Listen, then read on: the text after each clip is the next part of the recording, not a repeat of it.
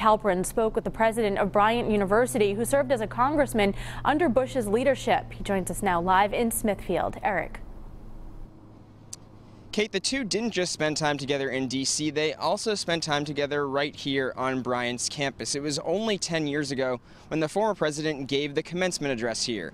It's one of the, one of the many memories the former president of the United States and the president here at Bryant shared together over the years. For 23 years, this picture has been hanging on the wall of Bryant President Ronald Machtley's office.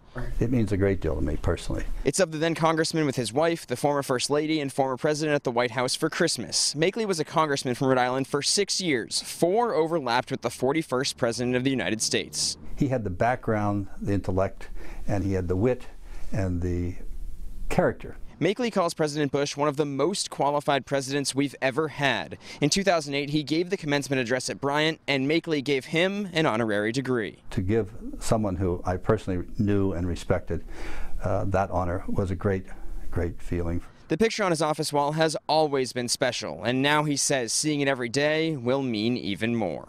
He was one of the great leaders of my lifetime, and uh, I try and emulate, and he was a mentor for me as someone that I respected and looked up to, to try and duplicate the values and the character that he exhibited.